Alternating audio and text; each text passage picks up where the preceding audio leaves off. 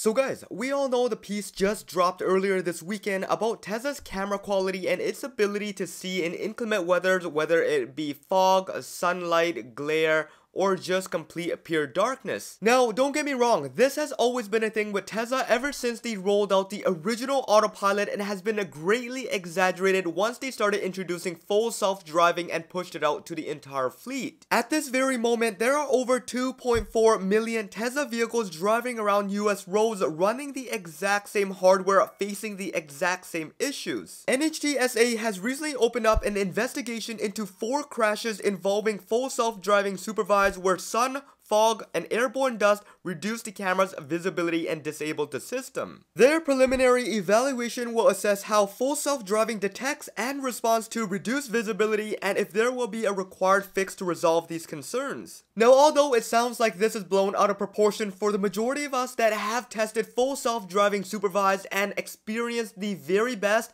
it is a very valid concern for those living in places that have inclement weather. NHTSA will now be going through various tests to ensure the safety of the software and the comfort of the passengers, so for the time being, there is no good in exacerbating the issue. It's better to now look at all the bright sides. The bright side to this is that we are finally going to get a clear confirmation whether the hardware will have all the abilities and will be truly capable of all weather conditions. And in the case that it is not compatible with unsupervised full self-driving, what are the solutions that can be provided through software to avoid having to switch out 2.4 million million vehicles on the road. Through many iterations of the software over the years, they have managed to remove many artifacts such as minor sun glare, heavy rain, sticky raindrops, and so much more these have played part in the full self-driving stack, allowing the system to continuously stay active and even one or many of the cameras being blocked or blinded does not affect the entire drive. Now, as for what NHTSA has recently brought up, we are unsure if Tesla has the current software capabilities to avoid encountering these issues in the future, but they will be dedicating engineering efforts into a resolution if it is required. Now, here's going to be another benefit. As we have discussed in our previous videos with Hardware 5 and what it's going to do, essentially it is the end game for autonomy, the end game chip that's going to be in the car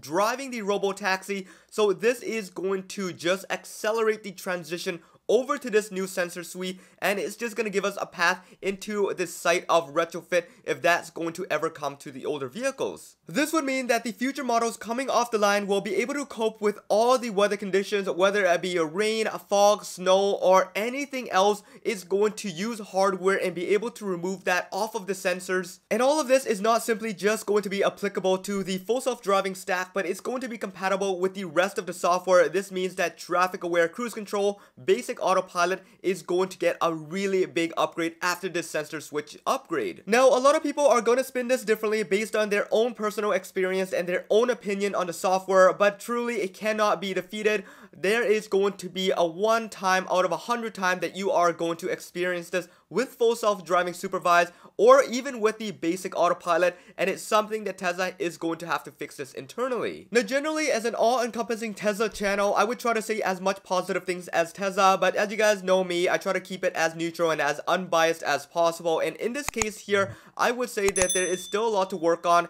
and there is going to be a lot that Tesla needs to do to full self-driving before the majority can use it as a robo-taxi service. But when it comes down to it, in the end, aside from all the technology advances we have in our car today, what we want is that full self-driving, fully unsupervised, is driving as safely as possible in all weather conditions in either fog, rain, dust, or snow, this is something that we shouldn't really have to think about and to defend either sides. A few other good points to also keep in mind is through human vision, there are multiple ways to get around certain situations, things such as pulling down the visor, shield your sun with your hands, squinting and seeing through your eyelashes, these are things that the current autopilot stack is unable to do just yet, and through software or hardware retrofits, we can see them replacing human actions. So yeah, regardless of whatever's happening with NHTSA and Tesla at the moment, we can look at the bright side and what we get from all this is that we are fully going to know whether our cars are going to be compatible,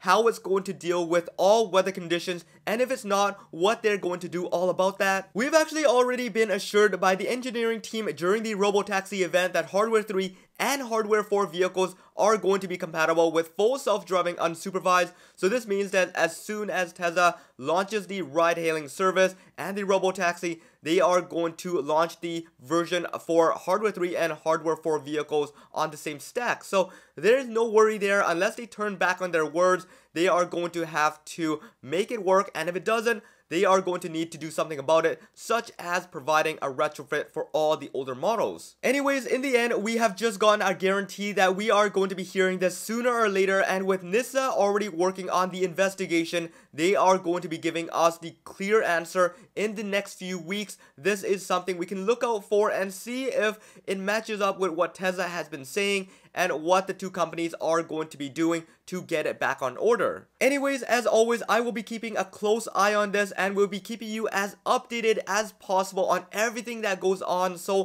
make sure you guys stick around, hit that subscribe and that bell notification if you haven't already done so. And make sure you follow me on Twitter at HeyJohnEe. Over there, you guys will see the latest and you guys can chat with me and I will respond as quickly as possible. This should be it for this one. I hope you guys enjoyed it. This is John once again. Peace out.